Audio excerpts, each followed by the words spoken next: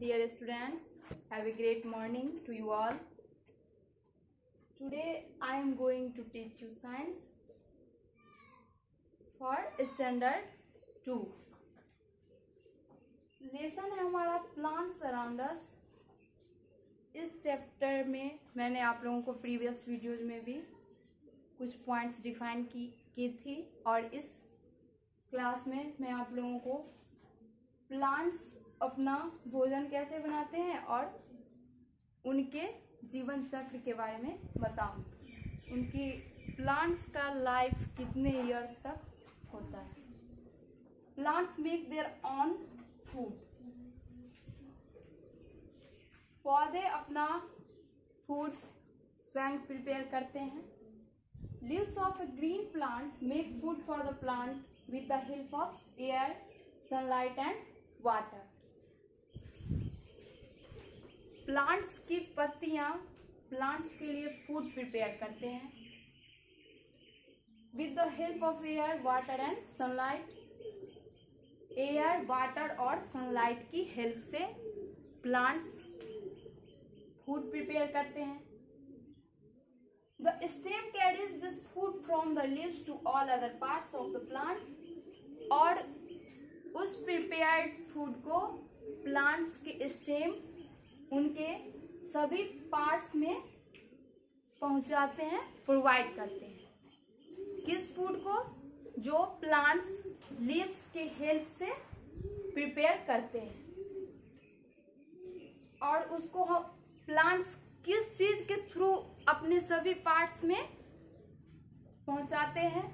तो स्टेम्स के थ्रू किसके थ्रू स्टेम के through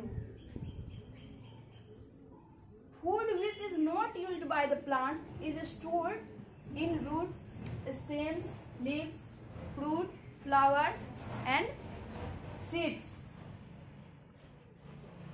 बचा हुआ फ़ूड जो प्लांट्स के द्वारा यूज़ नहीं किया जाता है वो स्टोर्ड रहता है प्लांट्स में तो कहाँ पे वो स्टोर्ड रहता है इन रूट्स प्लांट्स के रूट में स्टेम्स मीन्स तना लीव्स मीन्स पत्तियाँ फ्लावर्स मीन्स फ्लावर में फ्रूट मीन्स फल तो एंड सीड्स तो ये सभी ऐसे पार्ट्स हैं प्लांट्स के, जिनमें फ़ूड स्टोर होता है। कौन सा फ़ूड जो प्लांट्स के द्वारा यूज़ नहीं होता है, वो फ्लावर्स में रूट्स में स्टेम्स में लीव्स में सीड्स में फ्रूट में, इन सभी में स्टोर्ड रहता है।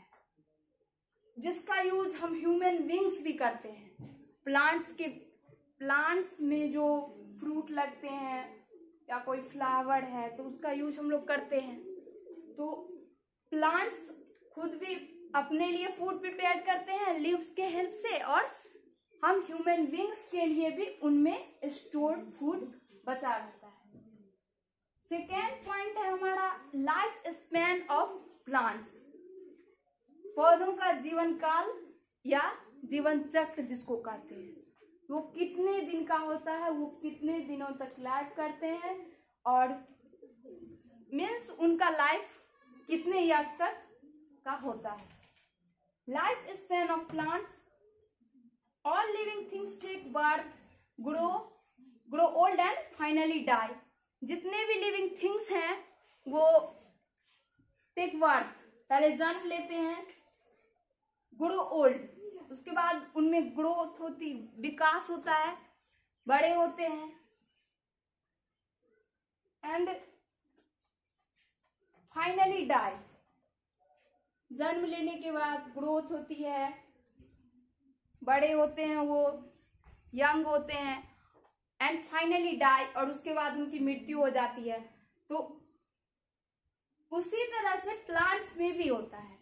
Plants are also living things plants भी लिविंग थिंग्स में आते हैं। तो उनमें भी उसी तरह से लाइफ स्पैन होता है। They usually grow from seeds and life for a few months to a few years usually ये किसी भी सीड से अंकुरित होके कोई भी प्लांट बनता है। और वह कुछ महीनों से लेके कुछ सालों तक उनका लाइफ होता है। Trees live for many years जैसे ट्रीज है कोई बड़ा मैंगो ट्री इसी तरह से मीन्स ट्रीज जिस जिसके वुड्स स्ट्रांग होते हैं। और वो काफ़ी इयर्स तक उनका लाइफ होता है। Some banyan trees are more than a thousand years old कुछ बनियान ट्रीज ऐसे होते हैं जो हज़ारों साल तक जिनका लाइफ होता है। हज़ारों साल तक। ट्रीज जैसे कि मैंगो ट्री है तो उसका लाइफ कम होगा। Maximum thirty forty years old maximum इतने दिनों तक उनका लाइफ होगा। लेकिन कोई बनियान ट्री है तो वो हज़ारों साल तक उनका लाइफ हो सकता है। Plants like mint and coriander life for a few month only और जैसे छोटे प्लांट्स हैं लाइक कोरिएंडर मिंट तो इनका लाइफ बहुत कम होता है ये। कुछ मंथ्स तक ही लाइव कर पाते हैं, कुछ मंथ तक ही रहते हैं। तो मैंने आप लोगों को आज दो टॉपिक बताया। इसको आप लोग अपनी कॉपी पर नोट कर सकते हैं। देख के रिमेम्बर कर सकते हैं लर्न कर सकते हैं और नेक्स्ट वीडियो में मैं आप लोगों को आगे का टॉपिक बताऊँगी। थैंक्स